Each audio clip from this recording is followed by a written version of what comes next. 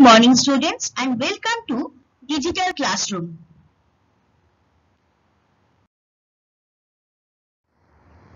In this video, I am discussing some important questions. These answers you will not get from your book. That's why I am giving some answer keys.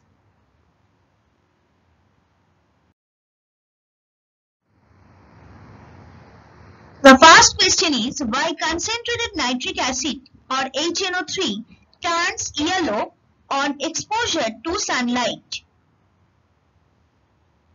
Concentrated HNO3 decomposes to nitrogen dioxide or NO2 which is brown in color and NO2 dissolves in HNO3 to give yellow color. See the diagram here I have given the equation. Equation also you have to write down. Nitric acid decomposition. Uh, HNO3 decomposes into NO2 plus O2 plus H2O. Next question.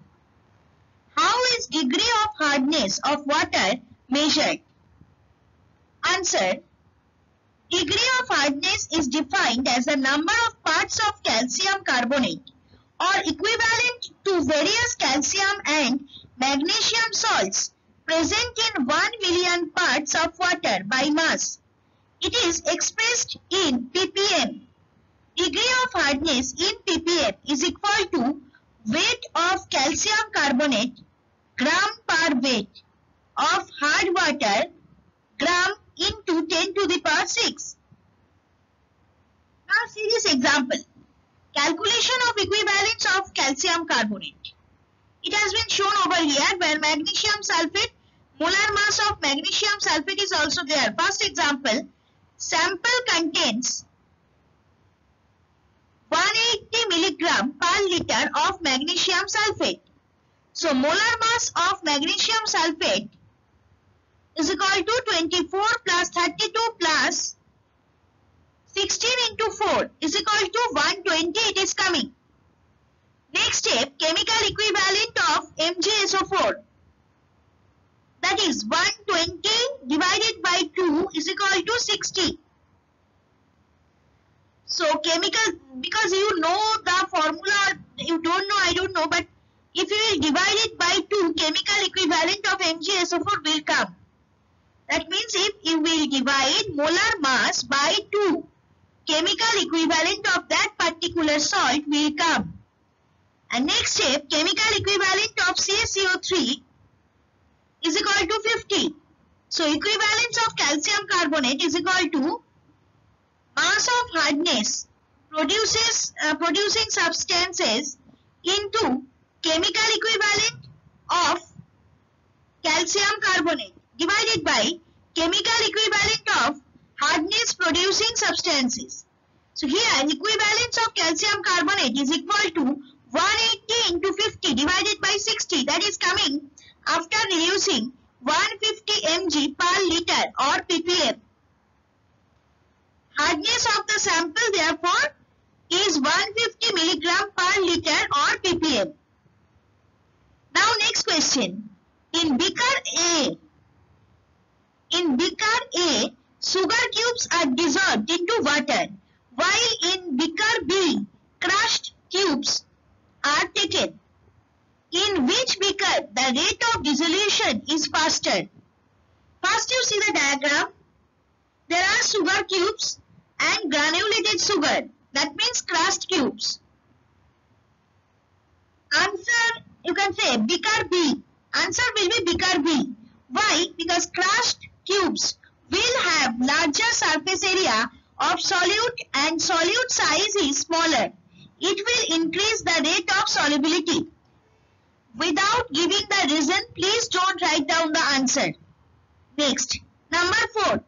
A solution turns red litmus blue. Its pH is likely to be 145 or 10. Which one is correct? This is the pH scale. You know pH scale. At the middle, that is 7. That means it is neutral. So I am giving you now the answer. Bases turn red litmus blue and acids turn blue litmus red. Basic solution has a pH value more than 7 and less than 7 means acid.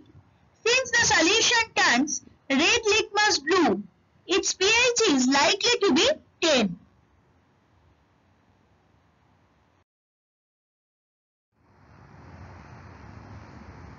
Question number 5. Why do acids not show acidic behavior in the absence of water? Answer.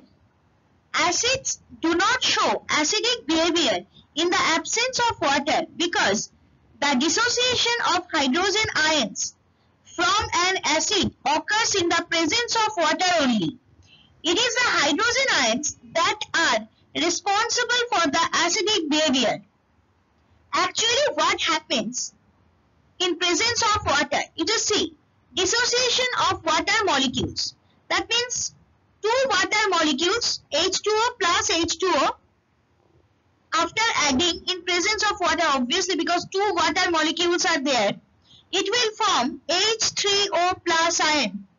It's a type of cation name is hydronium ion. Along with this OH minus ion. Anion that means it is a hydroxyl ion. If this ion hydronium ion will not form so acid, it will not behave an acid. This is the main reason.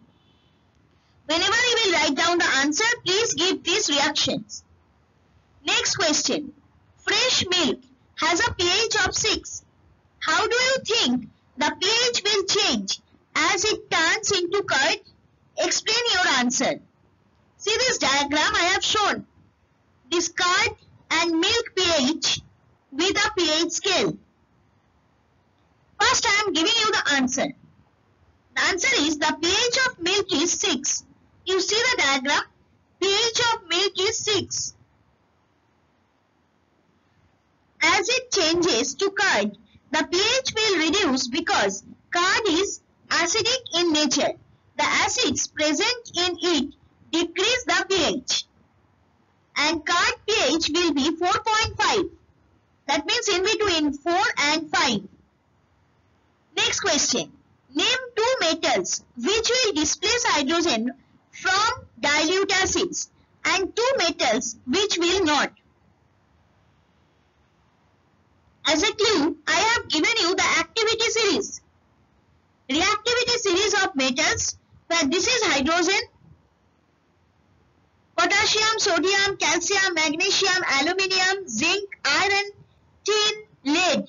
These metals are more reactive than hydrogen and copper, mercury, silver and gold. These metals are less reactive than hydrogen. So arrow will be down arrow. Most reactive metal to less reactive metal. Now the answer. Here specifically I can say that metals that are more reactive than hydrogen displace it from dilute acids. For example, sodium potassium along with the symbol you will write like Na and K within bracket.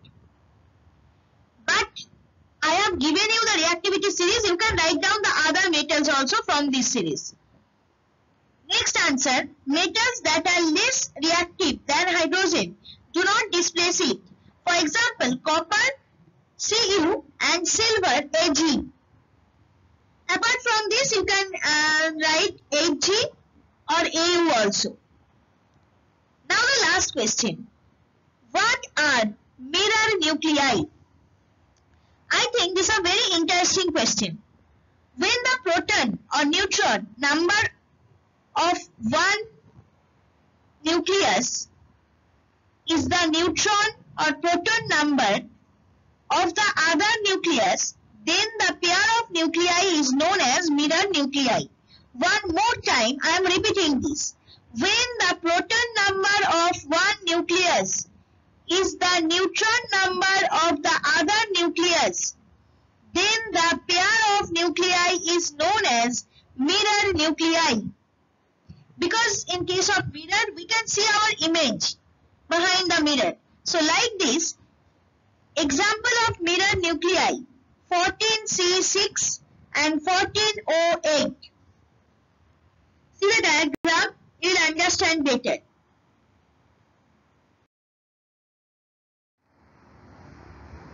So students, you need to write down these question answers in your physical science exercise book. For any doubts or queries, please email me at sudeshna1.sma at the rate of outlook.com. Even you need to mail your homework in this given email ID. We also welcome your responses by the way of views and feedback on the PPT or videos at feedback.stmichaelsacademy at the rate of gmail.com.